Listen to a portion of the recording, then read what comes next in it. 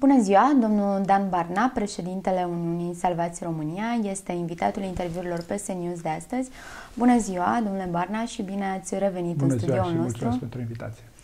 Începem uh, discuția de astăzi cu cea mai uh, controversată decizie a momentului, spun eu. Președintele Claus Iohannis, prin uh, vocea purtătorului de cuvânt, a anunțat astăzi că a semnat decretul de revocare a șefei DNA, doamna Laura Codruța Chioveși. Cum ați primit dumneavoastră această veste? Bineînțeles că nu a fost genul de știre care să bucure pe cineva decent din această țară. Este chiar s-a speculat în declarațiile de dimineață, am spus că într-un, într-un stat normal deciziile Curții Constituționale trebuie respectate și președintele a fost obligat să respecte această decizie. Numai că situația în care se află România acum este departe de a fi o situație normală, pentru că președintele a fost, pus, a fost obligat să respecte o, o decizie care excedea cadrul Constituției, lucru pe care l-am spus de nenumărate ori. Dincolo de această decizie însă pe care președintele a luat-o, este foarte clar că în momentul de față pentru România, România este obligată să organizeze un referendum pe justiție la nivel național, pentru că ceea ce se întâmplă acum, când timp de un an și jumătate societate, protestele au fost aproape permanente, societatea a fost permanent în stradă. Există o tensiune uriașă în societate pe acest subiect al justiției și din această, din această criză nu se poate ieși decât printr-un referendum prin care cetățenii României, care sunt până la urmă ultimii răspunzători de soarta acestei țări, să răspundă explicit și neechivoc dacă e normal sau e de acceptat să fim un stat de tip rai infracțional, cum îl propun Dragnea și Tăricianu, sau un stat, un stat de drept și un stat care să respecte, care să respecte legislația și, și domnia legii și cu o justiție funcțională. Pentru că ceea ce se întâmplă acum este în afara oricărei logici și președintele a promis de altfel cu ordonanța 13 un astfel de referendum pe justiție și acum chiar considerăm că este momentul când acest referendum ar fi, ar fi firesc și normal pentru a putea, a putea merge mai departe ca societate. Revenind la decizia președintelui, de ce credeți că a luat această decizie abia acum? Când uh, știm uh, foarte bine că s-a pus în discuție și uh, tema suspendării acestuia a fost pusă chiar de către coaliție. I-a fost frică președintelui de o eventuală suspendare din funcție? E greu să spun care au fost raționamentele finale care au stabilit acest lucru. În primul rând nu exista un termen și atunci evident putea să decide oricând. A fost probabil și o analiză de oportunitate în cazul suspendării venirea lui Tăricianu, ce s-ar fi întâmplat probabil pentru legi, mă gândesc, încerc să speculez, este evident o decizie pe care președintele și-o asumă în totalitate. A existat, din păcate, și e important să spunem lucrul acesta, și o așteptare că își va asuma sau va găsi o soluție pentru a, a nu da curs unei cereri care venea într-o evidentă încălcare a Constituției dinspre Curtea Constituțională, pentru că prin acea decizie știm foarte bine, Curtea Constituțională s-a transformat în legiuitor încălcând, încălcând puterea Parlamentului. Deci eu, era o hotărâre neconstituțională și președintele, ca și garant al Constituției, trecând aceste zile, s-a creat o așteptare în societate, o așteptare care acum a generat dezamăgire foarte mare în rândul cetățenilor. Pentru că a existat așteptarea aceasta că președintele va găsi o soluție pentru a rămâne în limitele Constituției și a nu da curs acestei cereri care, vă spun, eu consider clar ilegală și în afara, în afara cadrului constituțional. Și-a pierdut uh, Claus Iohannis din uh, simpatizanți prin această decizie? Există o nemulțumire acum în societate și există o, există o dezamăgire nu atât față de Claus Iohannis în nume personal, ci față de situația în care s-a ajuns.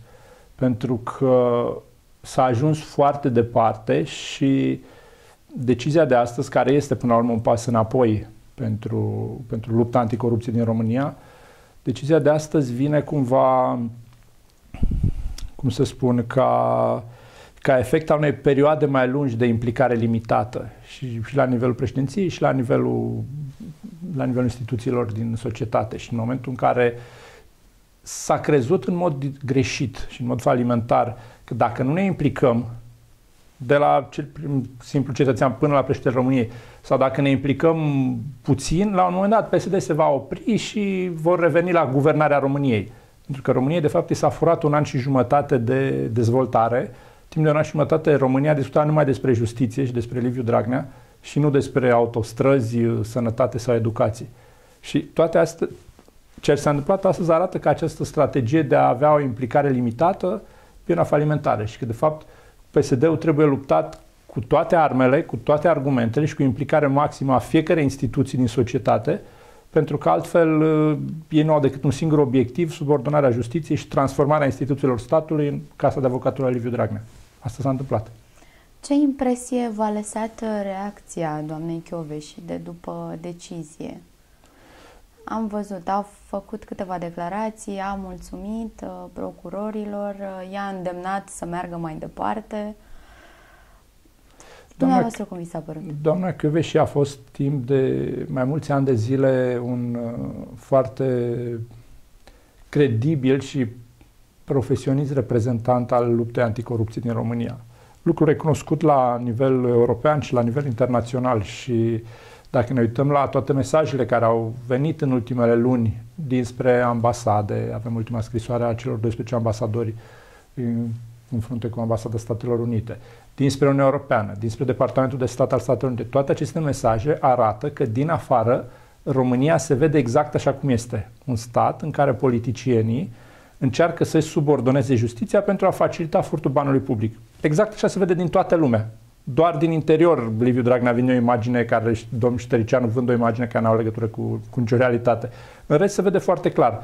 Și la fel de clar s-a văzut din afară că doamna Căduța și a fost reprezentantul luptei pentru lupte anticorupție din România. Un reprezentant care și-a făcut în foarte mare măsură treaba extraordinar de bine și din această perspectivă mesajul dânsă a fost un mesaj corect, profesional, un mesaj ferm, un mesaj de asumare a, a activității și de încredere cumva că sistemul uh, acesta de care chiar încearcă să protejeze societatea română de a fi capturată de o șleachtă de infractori, cum se întâmplă în prezent, pentru că dacă votul la codul penal exact asta arată. Pare că ne pregătim să devenim un rai al infractorilor.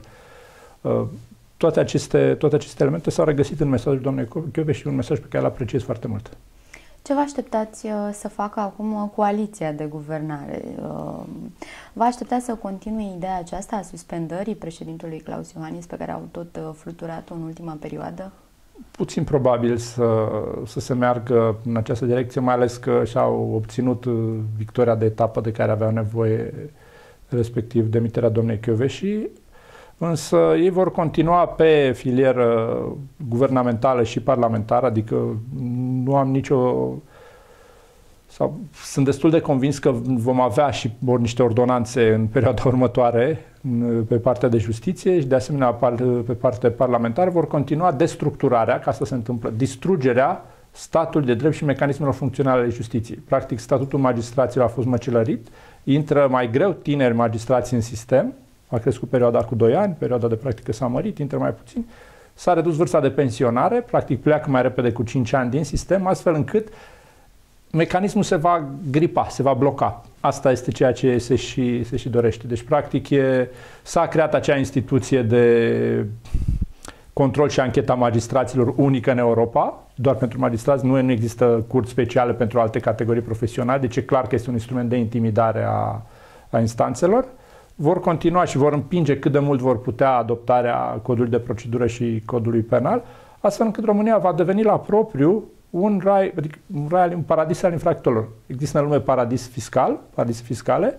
E, România va fi primul stat din lume care va, un, care va deveni un paradis al infractorilor prin legislație explicit asumată. La evaziune fiscală și la spălare de bani, spre exemplu, nu mai poți fi arestat. Ceea ce poate să fie mai frumos decât să speli bani, să trans, să sui grâu pe vapor, să-l duci până în largul Mării Negre, să-l întorci înapoi și să decontezi TVA și, mă rog, toate mecanismele acestea ilegale de fur din bani publici, după care, când în sfârșit, să spunem, un procuror observă sau te închel, te sui în avion și pleci în Costa Rica sau în Brazilia sau în Madagascar. Adică, la nivelul acesta, când spun rai al infractorilor, chiar asta devenim, un rai al infractorilor explicit. Cât uh, despre doamna Chioveși, ar putea fi un candidat la alegerile prezidențiale de anul viitor? Credeți că ar avea șanse? În momentul de față există un, uh, o încredere foarte mare a, a României, a bucății de Românie decentă, ca să fiu foarte clar. Există un, un capital de încredere pe care doamna Chioveși îl, îl are și ar putea să fie un, un astfel de candidat, n-am niciun îndoială. USR ar, ar susține un candidat uh, ca doamna Chiuveși? USR a declarat constant că va, va avea un candidat la, la prezidențial în primul tur uh, cel puțin și în măsura în care reușim să o convinem pe doamna Chiuveși să devină membru a partidului nostru, ar fi un candidat foarte bun. Ar putea fi candidatul USR la prezidențiale? Fie. Asta vedem. Astăzi, ca să fim corect, să nu dăm știri șoc, surpriză, uh, doamna Chiuveși a declarat că rămâne procuror. Deci, din această perspectivă, toții, pe da. termen scurt, nu, nu este de actualitate o astfel de, un astfel de scenariu. Dar în eventualitatea în Ipotetic, care evident, ar veni, ar putea fi un candidat... Uh, Ipotetic, ar putea să fie, sigur. Acum că tot aminteați din aur de dezbaterile acestea pe codul de procedură penală și uh, codul penal, uh, de ce atâta grabă? De ce atâta grabă pe uh, votul pe cod penal și cod de procedură păi, penală? Nu există niciun argument. Toată această grabă este una pe persoană fizică, intuitul persoanei, cum se spune în drept. Adică toată graba este legată de faptul că domnul Dragnea vrea să se curețe, să se spele de cele două condamnări penale, pentru că toate aceste modificări uh, prin revizuire și prin, obligativ, prin prevederea care deschide posibilitatea revizuirii, practic ar scăpa de primul proces, ar redeschide primul proces și prin eliminarea abuzului în sau, mă rog, prin modificarea abuzului în serviciu și eliminarea neglijenței în serviciu, ar scăpa complet de, ceea, de aceea de-a doua condamnare, astfel încât domnul Dragnea ar deveni brusc un cetățean onorabil, după ce și-a bătut joc de statul român timp de un an și jumătate, după ce a, a fost distrusă justiția în modul cel mai explicit și transformată în cum era agia în perioada domnilor fanariote, cam asta se vede, cam așa vede domnul Dragnea justiția, efectul va fi, și de asta presiunea e foarte mare, efectul va fi eliberarea domniei sale de cele, eliberarea, spălarea de cele două condamnări. Deci, practic, spuneți că aceste modificări au fost făcute cu dedicație? Deci, auzeam chiar de dimineață, da, spun fără echivoc, da, au fost făcute cu dedicație, auzeam chiar azi dimineață la una dintre televiziunile de casă declarații sfărăitoare cu lupta, adevărata lupta anticorupție.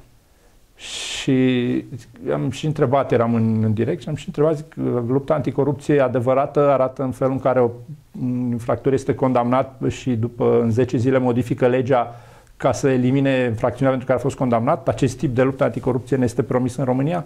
Că așa pare. Adică e clar, legea a fost modificată personal pentru domnul Dragnea, și pentru domnul Tăricianu, pentru că este și clauza aceea de care beneficiază el, că dacă ai fost achitat în prima instanță, nu mai poți să fii condamnat în a doua, ceea ce este o aberație juridică oriunde în lume. De asta există două grade de jurisdicție, ca să ai două perechi de ochi, să spunem, care analizează niște probe și iau niște decizii. În momentul de față, dacă n-ai fost condamnat în, în prima instanță, a doua instanță nu mai poate să te condamne. Deci a doua instanță este golită de sens. Exact cum președintele a fost transformat în notar, și prin decizia curții și el nu mai poate să decidă asupra oportunității. La fel, uh, un revocării procurorului în speță. La fel se întâmplă și acum a doua instanță, de ce să mai mergi în a doua instanță, de ce să mai ai calea apelului dacă de fapt tu nu mai poți să fii condamnat? Este un, din nou, un abuz și o destructurare a ideii de justiție care funcționează așa de la, de la romani încoace, adică justiția de 2000 și ceva de ani funcționează într-un fel, în aceste zile PSD-ul tocmai o redefinește. Ce se schimbă pentru românul de rând? Ce schimbări aduce aceste modificări? Aceste modificări aduc schimbări majore în ceea ce privește siguranța cetățeanului pe stradă. Atât de simplu este. Gândiți-vă dacă filmezi adică. cu telefonul mobil un, uh, o bătaie, un accident, un, uh, un viol, un furt, dacă ești la tine în curte și în casa vecinului intră un hoț și tu îl filmezi cu telefonul mobil, filmarea aceea nu mai, nu mai este probă. probă atât de, atât de grotesc. Este, v-am spus, evaziunea fiscală, spălarea de bani, se poate, pot fura niște bani când te deranjează cineva, zici bine, veniți mâine, te sui în avion și pleci din țară. Mm. Deci sunt, uh, sunt elemente legate de exact de siguranța de zi cu zi. Dacă ești victima unui, uh, unei agresiuni, trebuie să dai declarațiile de orice tip, viol, molestare, abuz, de orice fel, ajungi să fii în riscul de a trebui, de a trebui să dai declarații de față cu, de față cu infractorul, cu violatorul sau cu bătăușul și trebuie să-l pleci în față. Ei au încercat să explice, nu că victima are un stat de victimă protejată, dacă ai avocați buni și cer lucrul acesta. Regula este că ești față în față cu infractorul când ai declarația. Și prin excepție, dacă tu soliciți dreptul la declarație separată, poți să beneficiezi de el. Dar gândiți-vă la, victime, la persoanele care sunt victime unor astfel de agresiuni, multe dintre ele persoane sărmane, persoane cu nivel de educație destul de limitat, ca să spunem așa, și probabilitatea ca ele să beneficieze de o consiliere juridică de calitate e relativ limitată. Și, și vor fi multe situații în care va fi în situația absurdă ca victimele să trebuiască să dea declarație față în față cu infractorii. Despre asta e vorba, asta e realitatea modificărilor. După aceste modificări, vă așteptați la reacții și mai acite din partea partenerilor externe ai uh, României? Aceste reacții sunt deja o constantă a vieții publice și comunicaționale din, uh, din România și uh, România este oricum devine izolată politic. Liviu Dragnea știm foarte bine, nu mai este primit nicăieri în Europa. Adică el este văzut de toată lumea, ceea ce este de fapt în realitate. Un dublu condamnat, un infractor dublu condamnat care s-a cocoțat în vârful statului român și care beneficiază de un partid care este solidar, un partid devenit infracțional pentru că susține exact aceste modificări făcute personal, repet, personal pentru domnul Dragnea. Deci este, nici Ceaușescu n-a făcut așa ceva. Este omul care și-a modificat, a modificat legislația penală pentru a șterge din lege infracțiunea pentru care a fost condamnat și care a votat acest lucru cu degetul său. Deci a venit la ședința de vot și a votat el personal să fie dezincriminat. Dacă nu, conflict de interese pare o glumă, pare o glumiță față de grotescul situație în care ne aflăm. Cum arăta România acum 2 ani și cum putem spune că arată astăzi? Da, e incredibil. Este mi-aduc aminte de protestele acelea pe care vedeam la televizor în America, în care femei de 60-70 de ani ieșeau la protest cu pancartă în care, la meeting acum pentru susținerea dreptului la avort și la, mă rog, libertatea femeii de a decide asupra propriului trup. Și erau pancarte din anii 60 din vremea Woodstock, în care spuneau nu pot să cred că lupt pentru asta din nou, femei de 78 de ani. Exact asta este sentimentul în România. Aveam sentimentul în 2016, în timpul guvernării tehnocrate, că suntem un stat european, un stat care merge spre modernizare, un stat unde se redusese semnificativ furtul de bani publici și am văzut că începuse să apară o dezvoltare și o funcționare a instituțiilor. Am avut, nu pot să spun ghinion, am crezut poate noi ca societate că binele și nivelul de dezvoltare, nivelul de normalitate la care am ajuns atunci este un drept câștigat. Și am decis să nu mai mergem la vot, foarte mulți dintre noi. Bine, evident că eu am fost, vorbesc uh, la nivelul societății. Decizând să nu mai mergem la vot, s-a văzut că practic într-un an și jumătate toate reușitele acele acumulate pot fi date înapoi și întoarse. Asta ca și, ca și element negativ. Ca element de, de speranță și de încredere pe care pot să-l dau, este acela că USR în momentul în care va veni într-o structură de guvernare, USR când va veni la guvernare, va repara toate aceste nemernicii pe care socialdemocrații le fac astăzi României. Pentru că România este un stat agresat în acest moment. Este un stat agresat din toate, pe toate liniile și din toate punctele de vedere. Cum mi se pare activitatea desfășurată de doamna Dăncilă în uh, funcție de premier? Funcția pe care e greu de, e greu de pus o etichetă pentru că discutam și cu parteneri, colaboratori din, uh, din afara României și reacția nu este atât că ne facem de rușine, că nu erau așteptări.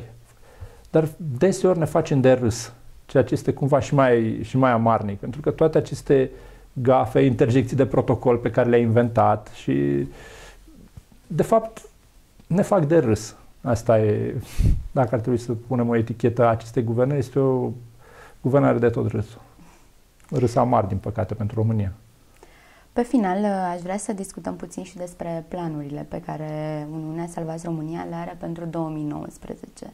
Vin alegeri europarlamentare, alegeri prezidențiale.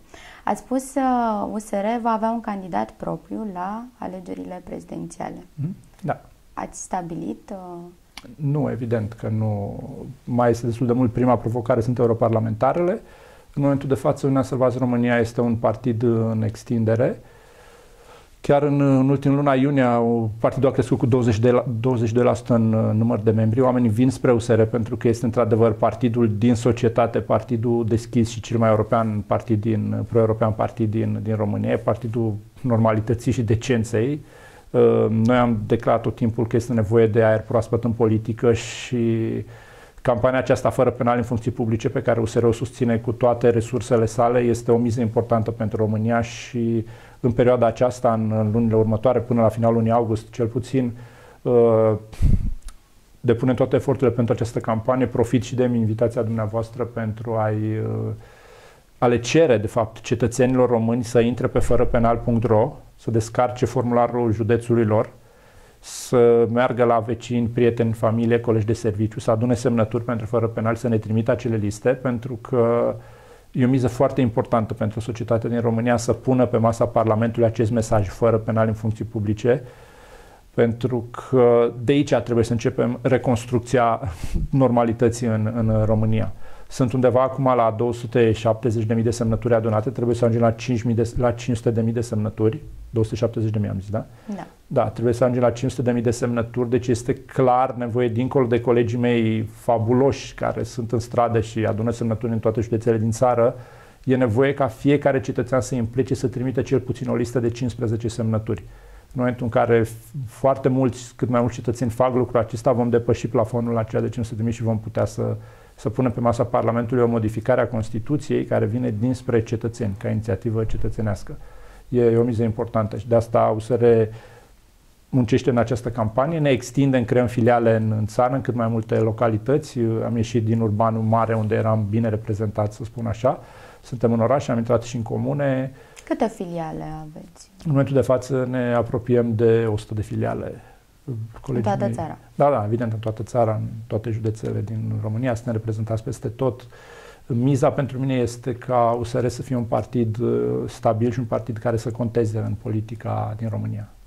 Cât despre alegerile europarlamentare, aveți deja o listă? Sunt... Uh, Mulțumesc, aveți... întrebare foarte bună. Fiind un partid cu adevărat din societate, USR va realiza lista de uh, europarlamentari potențiali, lista de candidați europarlamentare, printr-un mecanism numit Festivalul Democrației, spunem noi, în sensul că fiecare membru din USR poate să candideze și va vota pentru oamenii care să ne reprezinte pe listele europarlamentare. Deci nu va fi o listă pe care o să o decid eu în calitate de președinte al partidului, unde pun oamenii pe listă cu mânuța primul, al doilea, al treilea. Oricare dintre colegii noștri din partid și oricare dintre cetățenii care decid să intre în USR în, aceste, în această perioadă vor avea toat, pot să candideze și dacă mesajul lor și experiența lor profesională reușește să-i convingă pe ceilalți membri și vor fi votați, vor avea un loc pe lista de europarlamentare a Uniunii Salvați România. Deci, practic, este într-adevăr democrația se va face autentică. O selecție se va face o selecție de... prin votul membrilor. Prin practic, vot. membrii de partid se înscriu, își vor prezenta, va fi campanie internă, își vor prezenta programul, viziunea, punctul de vedere, abilitățile, limbile străine, experiențele anterioare, legătura cu Uniunea Europeană, tocmai pentru a evita să avem europarlamentari, cum a fost doamna Dăncilă europarlamentar. Deci să înțeleg că oricine se poate înscrie pe această listă. Categoric, oricine devine membru al USR e binevenit și poate să candideze să devină europarlamentar. Ce relație mai are USR-ul cu uh, PNL? Cu celelalte partide de opoziție, să spun? Este cu colegii de la PNL, avem o relație colegială, funcțională în Parlament, moțiunile le semnăm, fie că sunt simple, fie cum a fost cea de cenzură, uh, ne susținem, ne susținem cu semnături la atacul la Curtea Constituțională Legilor, am atacat împreună codul penal, adică facem tot ceea ce înseamnă ce e necesar de făcut în calitate de o componență a opoziției parlamentare. Vă rog, mai o întrebare. Cu formațiunea domnului Dacian Cioloș, cum... Avem întâlniri regulate, colaborăm, chiar acum trei zile ne-am văzut, ne-am văzut din nou colegii de acolo. Încercăm să ne coordonăm cât mai bine activitatea și mesajele pentru a putea să construim o alternativă credibilă și consistentă pentru, pentru următoarea alegeri din România. Domnule Dan Barna, eu vă mulțumesc pentru prezența în studioul nostru și vă mai așteptăm cu dragă inimă pe la noi. Mulțumesc și eu. Mulțumim.